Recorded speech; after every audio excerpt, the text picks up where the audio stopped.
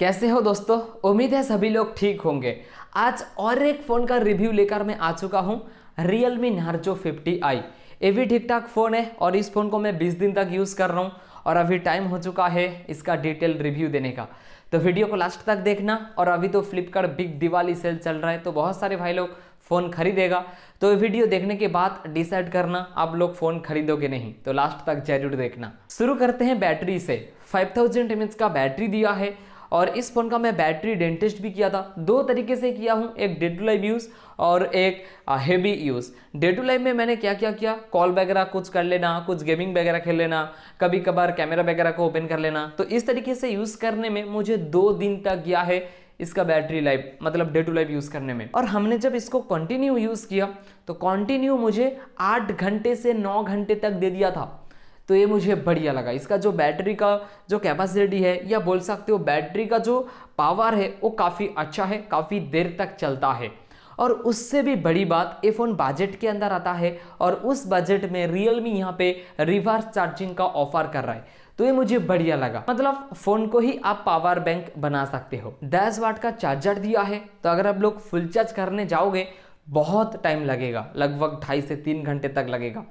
तो आप लोग थोड़ा सा ध्यान में रखना। अभी परफॉर्मेंस के बारे में बात करते हैं। इस फ़ोन में यूनिसॉक का एक घटिया सा चिपसेट दिया है और इस फ़ोन के ऊपर मैं अंतुतु बेंचमार्क को भी रन किया था, उतना अच्छा स्कोर नहीं आया है। उससे भी बड़ी बात, अच्छी तरीके से परफॉर्मेंस टेस्ट करने के लिए हम लोग यहाँ पे बीजीएमआई को इंस्टॉल किए थे। मतलब पहले 10-15 मिनट या 10-20 बार तक इंस्टॉल ही नहीं हुआ। मतलब मैं इंस्टॉल करने जाता फिर से होम पेज में चला जाता।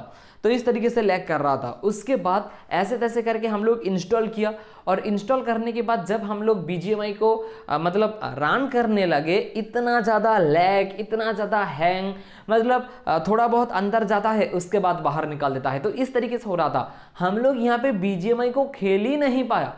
समझ रहे हो ना? मैं हर फ़ोन में खेल के दिखाता हूँ लेकिन इस फ़ोन में हम लोग खेल ही नहीं पाया बीजीएमआई को। तो इस फ़ोन का सबसे बड़ा माइनस पॉइंट है। इस फ़ोन का जो प्राइस है, वो नाइन थाउज़ेंड रुपीज़ है। और नाइन थाउज़ेंड रुपीज़ में बहुत सारे अच्छा अच्छा फ़ोन है, जो बहुत सारे अच्छा अच्छा परफॉर्मेंस के साथ ऑफ़र करता है। लेकिन इस फ़ोन में मुझे ऐसा कुछ भी दिखाई नहीं दिया। परफॉर्मेंस तो सबसे घटिया है। और ऐप ओपनिंग के बारे में मत ही पूछो। मतलब मैं बहुत सारे ऐप को एक साथ ओपन कर रहा था और इतना ज़्यादा लैग इतना ज़्यादा स्टटर इतना ज़्यादा लैग करके ओपन कर रहा था ऐप वगैरह। और लैग तो लैग तो है ही, उसके साथ टाइम लगा रहा था। तो यही कुछ है ऐप ओपनिंग के मामले में। तो गेमिंग के मामले में भी बेकार है। मतलब बेकार मतलब क्या है? बिल्कुल ज़ीरो है।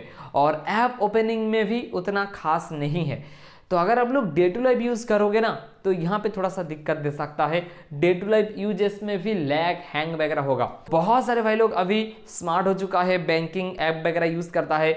लगभग 10-12 ऐप तो इंस्टॉल ही कर लेता है। प्ले स्टोर से। अगर इतना ऐप इस फ़ोन में घुसाओगे तो यार ये फ़ोन डेट हो जाएगा। सच में, मेरे मानो तो। इतना ज़्यादा लैक करता है, क्या ही बताऊँ। रैम मैनेजमेंट मुझे ठीक ठाक लगा है। बहुत सारे ऐप को मैंने एक साथ ओपन किया था, और हर बार की तरह ही दो तीन घंटे के बाद मैंने जब चेक किया तो लगभग 80 परसेंट या 85 परसेंट ऐप रैम में था। तो ये मुझे बढ़िया लगा। रैम मैनेजमेंट इसका बढ़िया है। रैम मैनेजमेंट में कोई भी प्रॉब्लम यहाँ पे नहीं है। 6.5 इंच का एचडी प्लस एलसीडी पैनल यहाँ पे देखने को मिलता है। डिस्प्ले क्वालिटी ठीक ठाक है, इस प्राइस में कोई भी फुल एच ऑफ़र नहीं कर रहा है। तो डिस्प्ले क्वालिटी मैं कहूँगा एवरेज है। मैंने बहुत सारे वीडियो वगैरह देखा था डिस्प्ले में, जो कलर कॉन्ट्रास्ट वगैरह ठीक ठाक मेंटेन करके अच्छा प्रोवाइड करता है। अगर आप एफोन खरीद रहे हो तो डिस्प्ले थोड़ा सा बेटर है, ये मैं कह सकता हूँ। डिस्प्ले में कोई भी शिकायत नहीं रहेगा। इसका जो बिल्ड क्वालिटी है, वो मुझे बढ़िया लगा। बैक साइड की तरफ़ पॉलीकार्बोनेट यूज़ किया गया है। उससे भी बड़ी बात मैट फिनिश यूज़ है। तो नहीं तो क्रैचेस आएगा, नहीं तो हाथों का निशान वगैरह आएगा। मैं कुछ दिन तक बैक केस के बिना ही यूज़ कर रहा हूँ। नहीं तो क्रैचेस नहीं तो हाथों का निशान, कुछ भी नहीं आया है। और हाथों में कंफर्टेबल फील भी देता है। काफ़ी अच्छी तरीके से यूज़ कर पाओगे इस फ़ोन को। और यहाँ पे फिंगरप्रिंट सेंसर भी नहीं दिया है। तो यहाँ पे थोड़ा सा माइनस पॉइंट है। यार नाइन थाउज़ेंड रुपीज़ में लॉन्च किया है, कम से कम फिंगरप्रिंट सेंसर तो दे देते। तो ये भी नहीं दिया है। 8 मेगापिक्सल का बैक कैमरा 5 मेगापिक्सल का सेल्फी कैमरा कैमरा के बारे में मत ही पूछो। क्या ही बताऊँ? मुझे बोलना पड़ रहा है, लेकिन मैं सच में दोस्तों, मैं ये सब कुछ शेयर करना नहीं चाहता हूँ। फिर भी मुझे लगता है ऑनेस्ट रहना पड़ेगा तो इसीलिए मैं आप लोगों को बता रहा हूँ, इसका जो कैमरा क्वालिटी है, वो मुझे उतना खास नहीं लगा। मतलब बैकग्राउंड में जो बुके वगैरह करता है, एक तो सॉफ्टवेयर से बुके करता है तो उतना खास नहीं है। एज डिटेक्शन वगैरह उतना मुझे खास नहीं लगा। डिटेलिंग भी मुझे उतना खास नहीं लगा। डायनामिक रेंज में क्या होता है, जो डार्क पोर्सन होता है ना, उसको और भी ज़्यादा डार्क करके दिखाता है।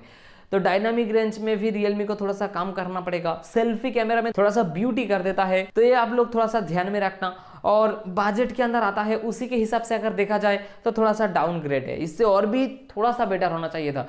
मतलब रियलमी इस फ़ोन को किस लिए लॉन्च किया, मुझे समझाओ एक बात।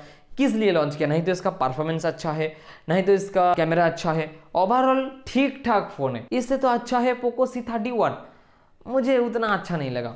और इस प्राइस में और भी बेटर बेटर फ़ोन है। अभी फ्लिपकार्ट बिग दिवाली सेल चल रहा है ना, और इस सेल में रियलमी नार्जो थर्टी वगैरह दस हज़ार में मिल जाएगा, अगर आप हज़ार रुपीज़ एक्स्ट्रा दोगे। तो मैं कहना का ये कोशिश कर रहा हूँ कि आप लोग ये फ़ोन बाई मत करना। इस प्राइस में और भी बेटर बेटर फ़ोन है, जिसके पास देख सकते हो, जिसका परफॉर्मेंस अच्छा है कैमरा अच्छा है बैटरी ओवरऑल काफ़ी, सब कुछ अच्छा है। तो वो सारे फ़ोन के पास देख सकते हो, ये सारे फ़ोन के पास बिल्कुल भी मत देखना। यही मैं बताने का कोशिश कर रहा हूँ। और हाँ एक बड़ी चीज़ मैं आप लोगों को बताना भूल गया, ये Realme U I go edition के ऊपर आता है। तो थोड़ा सा डाउनग्रेड है यहाँ पे भी। तो अभी मैं आप लोगों को बताता हूँ, ये फ़ोन आप लोगों को बाई करना चाहिए कि नहीं। यार, बिल्कुल भी बाई मत करना। आपका जो पैसा है वो सही जगह में लगाओ। क्यों इतना घटिया फ़ोन के ऊपर लगा रहे हो? मतलब ये रियलमी का ही फ़ोन है। मैं रियलमी का और दो तीन फ़ोन बता देता हूँ। Realme Narzo fifty A Realme Narzo thirty Realme Narzo twenty Realme Narzo thirty ये वो सारे फ़ोन वगैरह काफ़ी अच्छा है। वो सारे फ़ोन के पास देख सकते हो। ये फ़ोन आप लोगों के लिए बिल्कुल भी नहीं है। बिल्कुल भी खरीदना मत। समझ रहे हो ना? बिल्कुल भी खरीदना मत।